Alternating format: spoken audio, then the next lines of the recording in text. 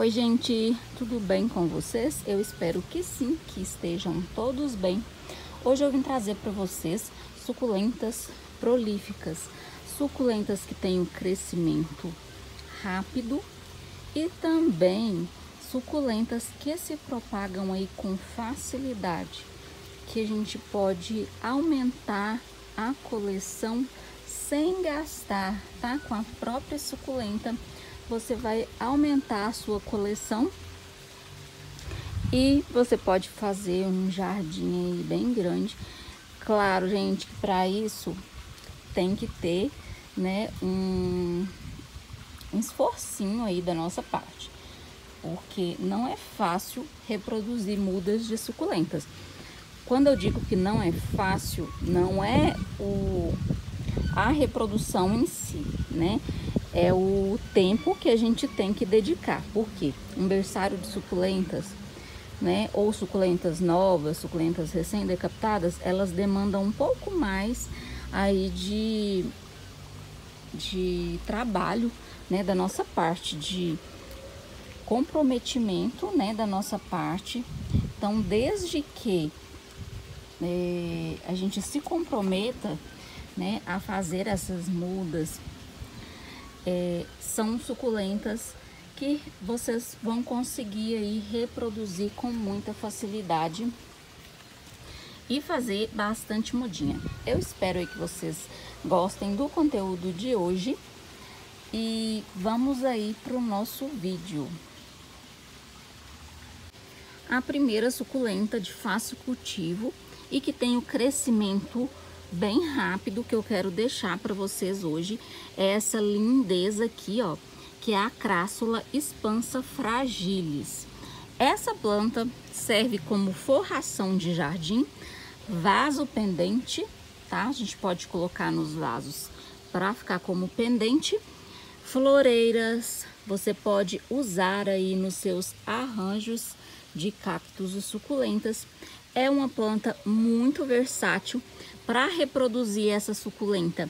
Basta você retirar um galinho, tá? Sem raiz, gente, não precisa ter raiz e regar, tá, gente? Essa suculenta dos caules bem fininhos, por isso é que eu falei para vocês que a gente precisa, né, ter um pouquinho de, de esforço da nossa parte. Porque senão a suculenta desidrata e morre. Essas suculentas, elas não retêm aí muita água no caulezinho. Então, elas desidratam com muita facilidade. A gente tem que molhar para que a emissão de raiz seja mais rápida, tá? Então, a primeira que eu, que eu trouxe aí para vocês é a crássula expansa fragilis. A segunda fofura é o sedum clavatum. Gente, o sedum clavato é uma suculenta muito, muito prolífica e ele forma colônias, tá? De forma espontânea. O que que significa isso? Essas mudinhas aqui, ó, elas nascem sem a gente fazer esforço algum, tá? É uma brotação espontânea no caule. Então, é uma planta muito prolífica que você não precisa fazer nada para aumentar a sua coleção nada além de cuidar do seu vaso, né, gente? É, a planta, se ela não tiver hidratada, adubada, livre de pragas, ela não vai crescer, tá? Olha que coloração maravilhosa desse sedum. É uma plantinha, gente, que é de muito fácil cultivo.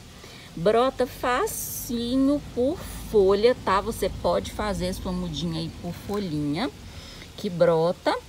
A brotação da haste floral também é rapidinho, tá? As folhinhas da haste floral. E é uma suculenta muito linda, gente. Olha isso, olha a coloração que essa suculenta fica agora no inverno. Ela fica puxada aí pro rosa, que é uma coloração que eu amo de paixão. Quem não gosta, né, gente? Olha como tá lindo esse meu sedum. Então, o sedum clavato é uma suculentinha aí que tá na lista de uma das suculentas mais prolíficas que eu tenho aqui no meu jardim. E aí, você tem essa suculenta? Deixa aí pra mim nos comentários, tá? Qual você tem aí dessas que eu vou mostrar hoje e qual é a sua experiência com essas lindas. Gente, a próxima suculenta aí prolífica que eu quero mostrar é um sedum também, que é esse lindo aqui, que é um dos meus preferidos aqui do jardim. Essa planta é maravilhosa. Ele fica bem vermelho agora no inverno. É o cedo nus balmeriano. É uma planta de muito fácil cultivo, gente. Compensa muito você ter essa suculenta aí no seu jardim, se você não tiver, tá? É uma planta aí fácil de achar, tá? Ela fica pendente à medida que vai crescendo a tendência dela é ficar pendente. Você pode colocar em vaso suspenso, que fica lindo. Pode colocar em arranjos, pode cultivar no tempo. Brota por folhinha, mas é um pouquinho mais demorado. Mas, gente, ela dá brotação espontânea também, tá? Ela brota aí entre as folhinhas do caule. E você pode também fazer decapitação, no caso de você ter mais pressa e de aumentar a coleção você pode cortar a ponta da roseta e replantar no mesmo vaso ou em outro vasinho para aumentar a sua coleção. Então, o Cedonus balmeriano é uma suculenta aí linda, maravilhosa, que se multiplica com rapidez, tá? É uma planta que rapidinho você consegue fazer mudas para colocar aí em várias partes do seu jardim e é uma planta que você pode cultivar no tempo. Gente, a próxima lindeza que eu quero mostrar é uma Graptoveria e é essa linducha aqui, ó, que é a Graptoveria Purple Dream. Gente, essa planta também forma colônias lindas, lindas, lindas, lindas. Olha como que esse vaso meu encheu, gente. Olha isso. Eu tô muito, muito satisfeita aí com as minhas plantas, tá? Com o desenvolvimento. É claro, gente, que eu tô cuidando muito delas, tá? Se não tiver dedicação aí da nossa parte, a gente não consegue bons resultados. Às vezes você olha a plantinha do outro e pensa, por que que eu não tenho plantas assim? Então, vamos olhar pra gente, né? Vamos ver aí quanto de dedicação que eu estou... É, dando a minha planta, né? Quando, o como eu estou cuidando, né? E se você, né, tiver realmente empenhado e gostar de cultivar, aí vamos ver por que que é que a sua planta não está sendo não, por que, que você não está tendo sucesso aí no cultivo, tá? Alguma coisa tá errada, tá? Eu tenho vários vídeos aí dando dicas aí no cultivo de suculentas. Gente, a Purple Dreams é Purple Dream é uma suculenta de muito fácil cultivo, tá? Ela se propaga com muita facilidade, brota por folha facinho e dá mudas no caule. Uma coisa eu te falo, não deixa essa planta naquele sol extremamente quente, tá? Coloque sobre cobertura ou no sol da manhã ela fica com essa coloração maravilhosa aqui, mas não cresce muito. Então a minha assim, a minha sempre foi muito colorida, mas agora que ela tá desenvolvendo, que eu tô cultivando, claro que eu cultivo com sol, tá gente? Aqui pega muito sol e aqui é muito quente onde elas ficam. Mas não é aquele sol mais quente do dia, então dependendo do seu clima nem precisa proteger tanto, tá? E outra coisa, cuidado com o excesso de água. Essa plantinha, ela tem tendência a fungar se você deixar muito tempo na chuva ou exagerar aí.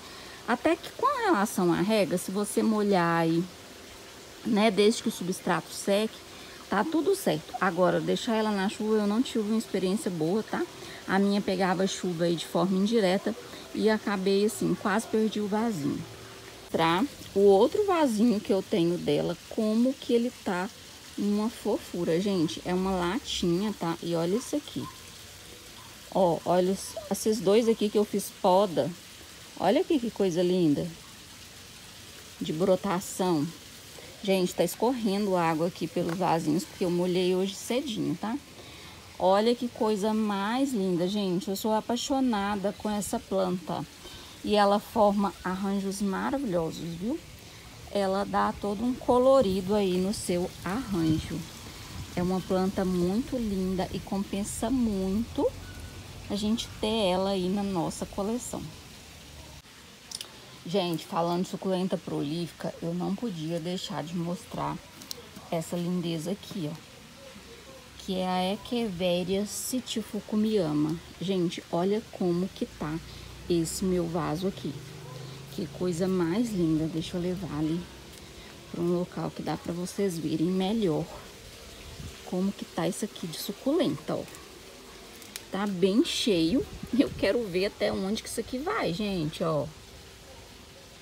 Tá totalmente lotada de muda. Olha isso aqui, gente, a mudinha tentando, ó. Tadinha, dá até dó, né? Peraí. Deixa eu virar o vaso. Olha aqui. Gente, olha a quantidade de muda. Vou ter que tirar ela desse vaso. Mas elas gostam de ficar assim, ó, apertada. Então eu fico Ai, tá tão lindo. Eu amo esse efeito. Amo, amo, amo. Vamos ver. Eu vou deixar mais uns dias aí. Gente, a Echeveria citifukumiyama é uma suculenta que dá também brotação de forma espontânea, ó. Essas rosetas foram todas brotadas de forma espontânea. É uma planta que enche seu vaso rapidinho. Gente, quando eu plantei essa suculenta aqui, ela era bem pequena, ocupava só o meio aí do vaso e olha como que tá isso aqui de suculenta. Já tem um ano, tá? Que ela tá aqui nesse vasinho. Olha isso. Que show de planta. É uma planta linda, ela tem a coloração maravilhosa, de fácil cultivo, dá brotação espontânea. Gente, eu nunca tentei por folhinha, tá? Mas deve brotar sim. Porque ela brota tão facinho aí, que a gente acaba nem colocando aí folhinha para brotar. Porque ó que espetáculo. Linda demais essa suculenta, gente. Ó, a planta mãe é essa aqui, tá? Falando de suculenta prolífica, eu quero mostrar para vocês esse vasinho com a minha Echeveria Super Primavera. Echeveria, eu fiquei na dúvida, vou deixar aí na tela, tá? Gente, olha que linda dessa planta. Olha como que encheu de mudinha. Aqui eu fiz decapitação, tá? Só porque ela brota sim de forma espontânea. E também brota por folhinha, é uma planta bem prolífica. Olha que maravilhosa. Essa minha aqui, ó, não tive sucesso na brotação espontânea, porque ela sentiu muito aí, ela veio pelo correio e sentiu um pouquinho, tá? Então eu tive que decapitar para ela se recuperar. Agora ela tá bem, tá se renovando, ó. Tá vendo que ela teve até queimaduras. Ela, na verdade, isso que isso aqui não, nem foi queimadura. Isso é cicatriz, tá? Ela deu foi cochonilha, muita cochonilha, gente. Eu custei recuperar essa suculenta. Olha que linda. Maravilhosa. Então, a super primavera é uma suculenta prolífica maravilhosa. Ela tem essa coro... Ah, meu Deus, essa coloração bem rosa, tá? Ela não tá tão rosada porque é brotação nova, mas ela fica com essa cor aqui, ó. Rosa, lilás, mais puxado pro lilás, né? Essa cor dela. É muito, muito linda, vale muito a pena até essa suculenta aí na coleção de vocês. Outra maravilhinda, essa também quase perdi a minha, mas foi por minha causa, tá? Ela deu cochonilha de raiz e eu esperei muito tempo para cuidar. Então a gente acaba descuidando de algumas plantas. Essa aqui, gente, a Echeveria benbeds, é uma suculenta muito prolífica, tá? Ela só não gosta de excesso de água, mas é uma planta muito tranquila de cultivar e ela dá brotação de forma espontânea no caule. Então é uma planta aí que dá muita mudinha, gente, mas muita mesmo. Essa minha, gente, ela se recuperou muito fácil, tá? Eu fiquei impressionada. Então é uma planta, eu nem achei que essa planta fosse recuperar, para falar a verdade para vocês.